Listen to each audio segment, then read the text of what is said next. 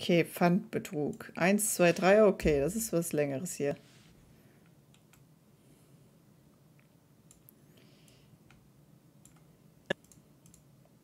Ja, doch, von dem Pfandbetrug-Idee habe ich auch schon mal gehört. Da wollte er irgendwie so ein Seil dran binden oder sowas. Das ist mein Backup-Plan. Ah ja. Das und ich habe mir überlegt, man könnte ja bei einem Pfandautomaten, wenn du bei einem Pfandautomaten eine Flasche reinsteckst und dann wird die so weggepiept und dann greifst du schnell rein und ziehst sie wieder raus. Ach so, mit Ja? reingreifen. Kannst du die gleiche Flasche halt nochmal reinstecken. Guck mal, ich habe zwei, ich habe Plan B und Plan C. Ihr könnt mir gar nichts. Ihr könnt mir gar nichts. Sagt er auch immer im Podcast, Uwe. Er sagt er überall, wo er hinkommt. überall sagt er, ich habe eine Idee für Pfandbetrug.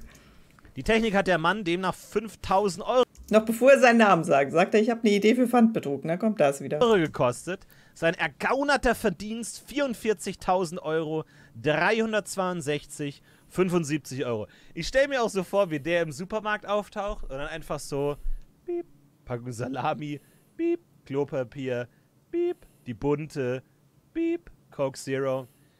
Ja, das macht dann 4,68 Euro. Äh, ich habe einen Leergutbon. 44.000 Euro 362. Hier, nehmen Sie alles. nehmen Sie alles. Wie macht man das? Eine Bekannte von mir hat sich den Plastikpfandzettel an die Hand geklebt und die mehrmals hintereinander in den Automaten gehalten. Es sind 5 Euro dabei rumgekommen.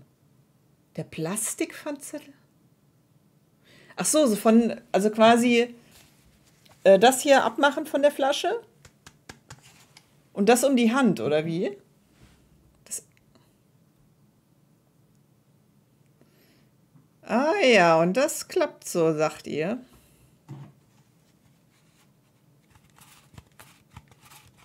Ist hier Pfand drauf?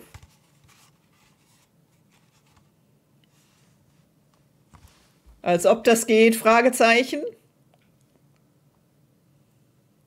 Es geht nicht mehr. Warum?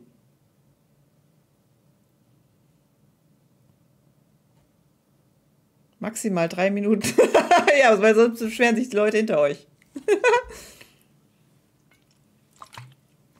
ich glaube, das geht nicht mehr. Ja, wahrscheinlich heutzutage nicht mehr, oder? Wann war das mit den 5 Euro? nee, ich kann da nicht mehr. Ich kann das nicht machen bei meinem Supermarkt. Da bin ich schon, äh, da habe ich, da kann ich nicht sowieso nicht mehr hin.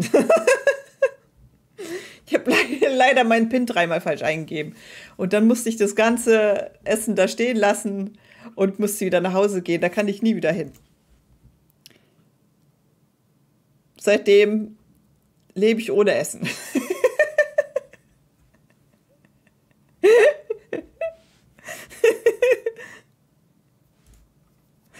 war unangenehm.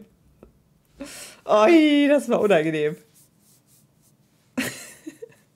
Das ist nicht gelogen, nein. Eine Möhre kann man auch bar bezahlen. Ich hatte leider kein Bargeld dabei in dem Moment. Immer Bargeld dabei haben, das stimmt. Habe ich seitdem auch. Aber zu dem Supermarkt kann ich nicht mehr hingehen. Die haben sich, das muss, da muss erst mal Gras drüber wachsen über die Sache. seitdem, seitdem meine Karte nicht mehr ging, äh, sehen die mich, also ich gehe nur noch dahin, um Pfand einzulösen. Das heißt, die sehen gar nicht mehr, wie ich da einkaufe, sondern nur, wenn ich da mit meinen Pfandflaschen hinkomme. Die müssen denken, ich bin komplett arm jetzt.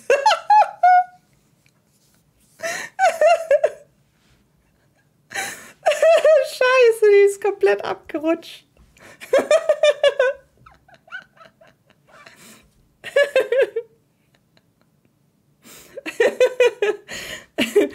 Das Dumme ist, ich kann die Pfandbons ja dann auch nicht einlösen, weil ich da nie einkaufe. Das heißt, ich habe jetzt auch so sehr viele Pfandbons jetzt. Ja, ich muss zumindest, bis die Verkäuferin, wo das passiert ist, bis die gekündigt hat oder so. Hoffentlich macht sie das bald. Ich gucke immer beim Pfand abgeben, gucke ich da rein, ob da noch welche sind, die, die mich kennen. Oder ich muss vielleicht mit einer Sonnenbrille und mit so einer Perücke und mit einer falschen Nase einkaufen.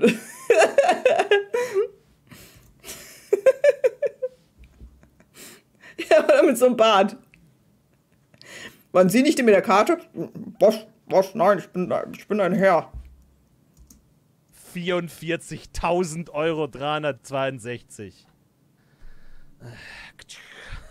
Hier, nehmen Sie alles. nehmen Sie alles. Wie macht man das am Ende? Das ist ja schon eine logistische Meisterleistung. Kriegst du dann 44.000 Euro? ich sage, ich arbeite bei Gaming Rocket. In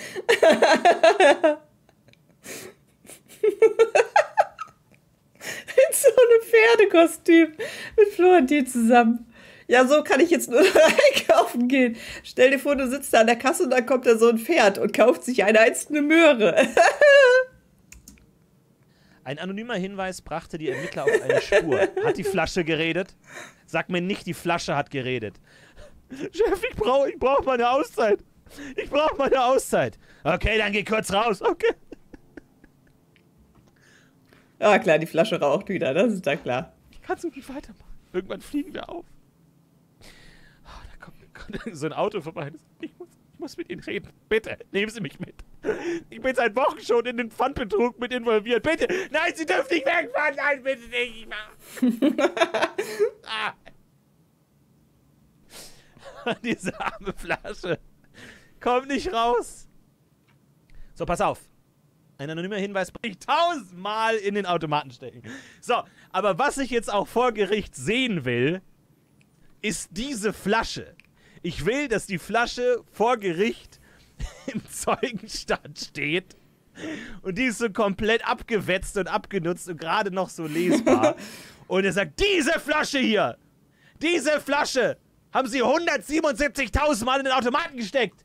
Ja, aber ich habe sie ja davor bewahrt, dass sie geschreddert wird. Also ich wollte ihr ja nur helfen. 177.000 Mal, schauen Sie die Flasche an. Und die Flasche so, ich wusste nicht, was er da mit mir tut.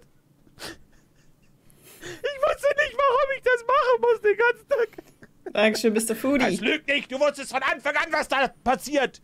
Du bist mein Komplize, du wusstest genau, was passiert. Ich hab diesmal, ich weiß nicht, ich weiß nicht. Es tut mir so leid. Es tut mir so leid. Ach, es ist, es ist dramatisch. Ich habe ein ich Radio, ein Radio daneben gestellt. Und der, der, der Was? Oh Mann. Stevie B, Dankeschön.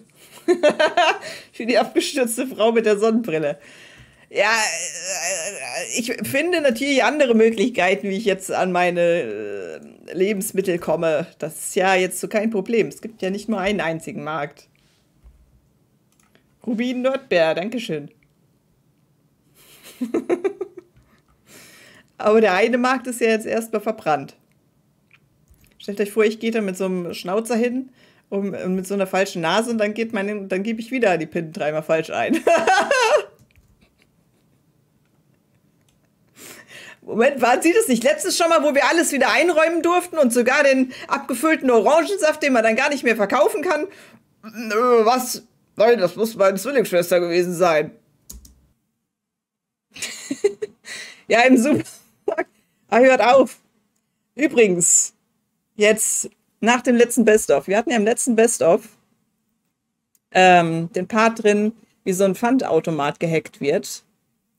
Und zufällig ist jetzt der Supermarkt gehackt worden. Hängt ein Riesenzettel an dem Pfandautomat. Sorry, Sie können keine Flaschen abgeben. Bösewichte haben versucht, uns zu betrügen und äh, der Pfandautomat wurde gehackt. Ja, da gab es natürlich ein ernstes Gespräch, was ich da mal führen musste. War ja wohl offensichtlich, wer das jetzt war, ne? Dunkle Mächte.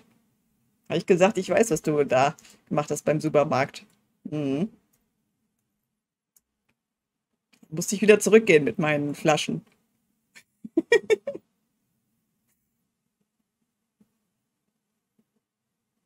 Ich habe leider kein Foto gemacht. Ich dachte dann auch, als ich wieder zurückgekommen bin, ah, wie dumm. Weil da war noch so eine ewig lange Erklärung, wie, warum der gehackt wurde und was weiß ich. ich muss noch mal hin mit falscher Brille und Schnurrbart, ja.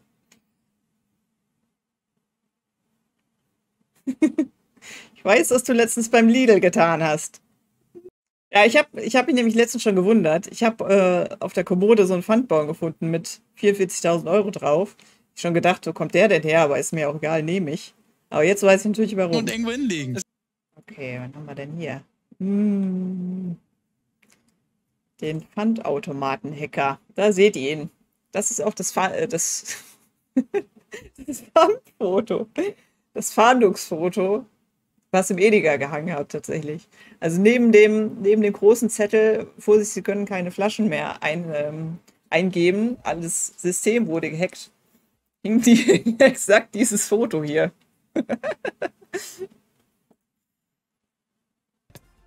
Haben Sie diesen Mann gesehen? Ja, da hat er jetzt natürlich Glück, dass er jetzt gerade im Urlaub ist. Das hat, hat, er, hat er gut getimt. Dann hat er sich gut getimt hier.